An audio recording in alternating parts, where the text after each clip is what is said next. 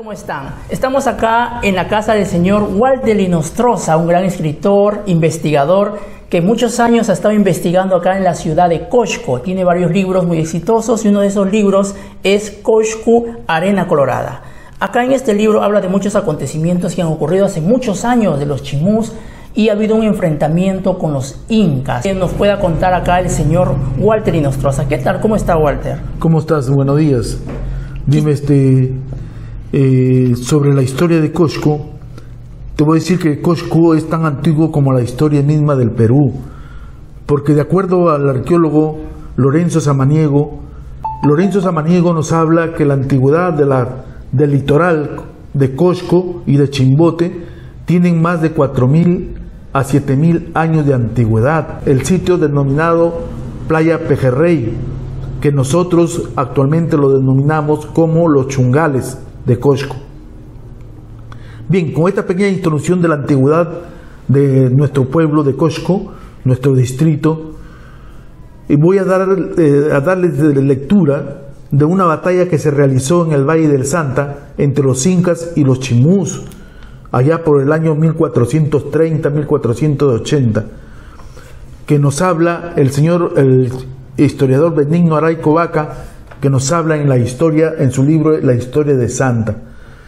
Allá por los años 1436-1488 existió absoluto e independiente en el valle de Chicama un reyesuelo llamado el Gran Chimú, que dentro de todos los señores que regentaban el imperio era el que más llamaba la atención e incitaba a los celos del Inca reinante.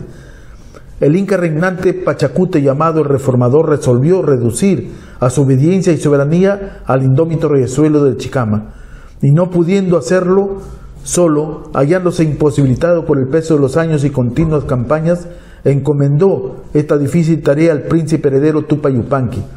El príncipe heredero emprendió la marcha hacia la conquista con más de 50.000 indios que le siguieron en favor y consentimiento, notándose que esta gente en todo, tiempo, por su sangre rebelde, ha sido siempre levantisca y fáciles de estar listos para las novedades, por el solo hecho de que se le ofrezca algo.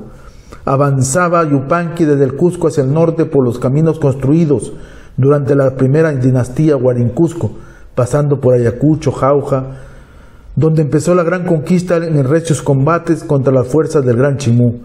En la batalla de Paramunga, o sea, Paramonga, fueron vencidos los chimús y obligados a tomar las armas y combatir contra sus propios hermanos de sangre.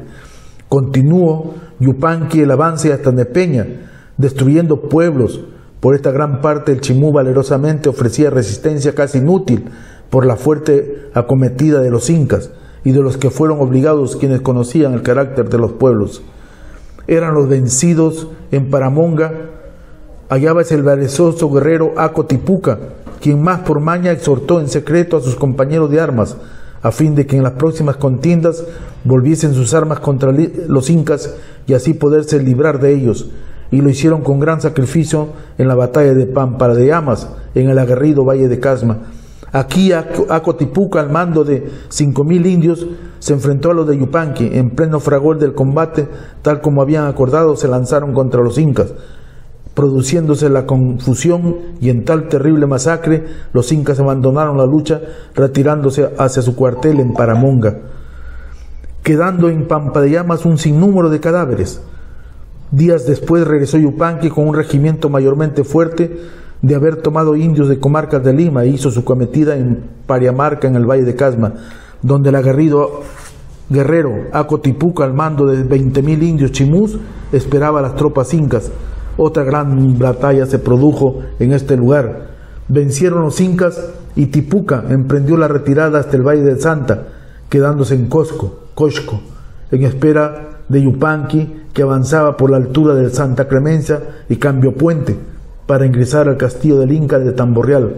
Veinte mil indios chimús en el castillo del Inca se enfrentaron en feroz lucha, en la que vencieron los chimús, retirándose los incas nuevamente hasta Paramonga de donde Yupanqui pidió más refuerzos a su señor padre Pachacute, que hizo necesario que vinieran los refuerzos de Amaru Yupanqui, que se hallaba realizando las conquistas en los valles del Rima, Chancay, Huaraz, Conchuco, Guamachuco y Patás, Transcurrido cuatro meses, ingresa Amaru al Valle de Santa en compañía de su hermano Tupac, dándose la gran sorpresa que el gran Chimú de Chicama, al mando de 40.000 indios, establecía emboscadas en distintos lugares de este valle.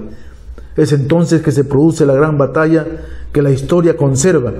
Tres años duró esta sangrienta epopeya. Yupanqui hizo cortar las acequias de regadíos y destruyó pequeños pueblos, quemó silos de productos alimenticios, etc. El Chimú, no pudiendo resistir los continuos combates, se vio obligado a someterse al yugo vencedor, pero los incas los consintieron porque tenían más saber que ellos. Y estamos muy agradecidos, señor Walter, y vamos a seguir viniendo a poder saber otras historias que acá en, su libro nos habla también. Estoy a su disposición de ustedes en cualquier momento para hablar sobre eh, lo que más nos fascina y no más nos ilusiona, que es sobre la historia prácticamente de estos pueblos, tanto de Cosco como de Santa, y, y lo que más me preocupa es de que la juventud conozca y, recapacite de la historia de nuestro pueblo, lo rico que somos en esta historia, en este tipo de cosas, ¿no? Y la valentía que tuvieron esos guerreros que vivieron en estas tierras. Eso es lo que estoy a su disposición en cualquier momento. Vengan para hablar de repente de algún otro tema que podemos hacer. Bueno, así han sido todas las palabras de acá del señor Walter Inostroza. Eh, estamos con ustedes nuevamente en otra oportunidad para poder este, explicarles más sobre otros temas muy interesantes a través de la historia, misterios, etc. Ahora se ve todo Cosco, completamente todo Cosco, todo su alrededor y también se ve atrás. Ahí se ve hasta el fondo de lo que tiene que ver con Santa y más allá y tiene que ver con Tamborreal. Todo este que está acá ha sido habitado por nuestros ancestros, los chimús. Por acá han podido caminar, han podido recorrer muchos caminos. Por acá también fue la gran guerra entre los chimús con los incas. Se ve todo espectacular. Pueden conocer todo, todo esto donde han podido estar acá los chimús y también los incas. Vemos acá unas piedras que parece como si hubieran sido acumuladas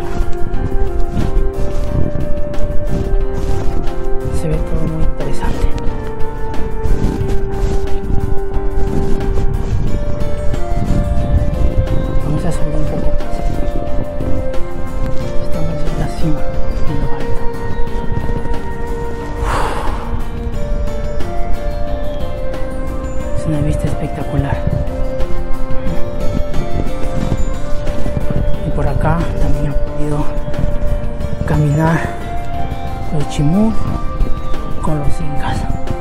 Y tal vez hasta por acá habrá sido la lucha. En realidad no sabemos exactamente dónde podido estar viviendo exactamente, pero se supone que en muchos alrededores por acá han estado los chimús. Y el enfrentamiento fue una masacre muy, muy sangrienta.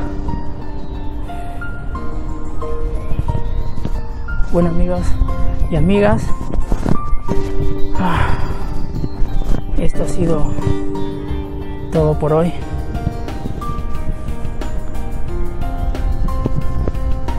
Ya hemos conocido una parte, un poco sobre esta cultura, sobre esta cultura chimú, que hay mucho más por conocer, hay mucho más por saber sobre esta cultura, que falta más descubrimientos todavía, pero en los pocos, en los pocos descubrimientos que han podido hacer muchas personas, y acá el señor Walter, que nos ha dado esa oportunidad de poder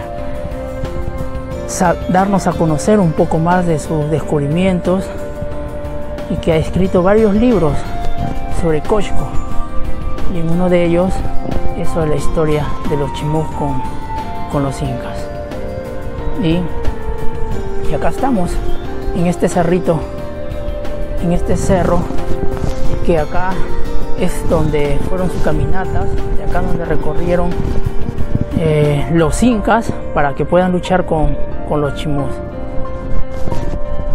Y acá se ve todo, todo Cochco, se ve Santa, se ve Tamborrear, que todo, todo esto pertenecía a los chimús. Y los incas venían a conquistar todas estas tierras por.